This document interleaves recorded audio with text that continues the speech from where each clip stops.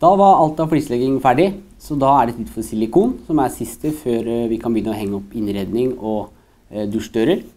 Eh, for å legge silikon så trenger vi bl.a. en silikonpistol, en liten skrutrekker eller kniv eller lignende, bare for å kunne skrape ren fugen før vi legger silikon. En liten pappbit eller noe, bare for å ha noe kline silikon på, etter hvert som vi drar den ut. En silikon i matchende farge som fugen. Eh, vi bruker også en glattevæske. Det er for å kunne glatte ut fugen best mulig, uten at det klistrer seg overalt.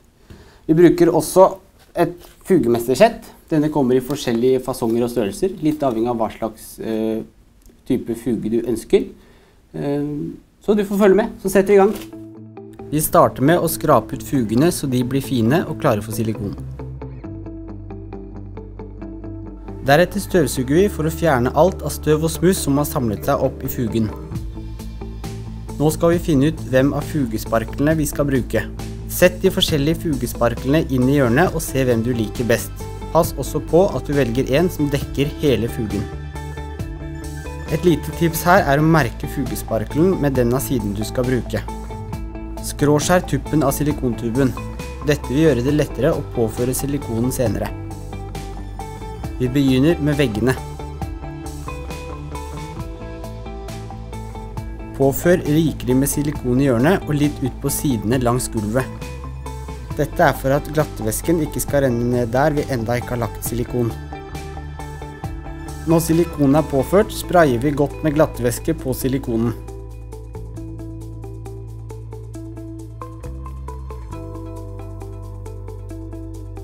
Trekk silikonsparkelen med en jevn bevegelse over fugen, ca. 30-40 cm av gangen, før du tørker av silikonrestene på pappbiten.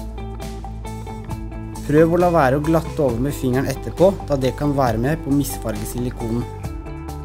Gjenta samme prosedyre langs gulvet.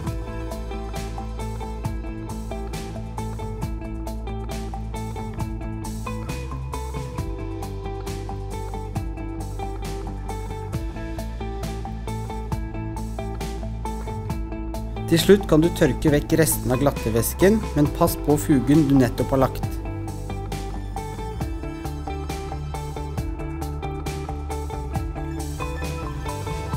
Badet er nå klart for montering av dusjløsning, innredning og eventuelt andre ting som skal på plass.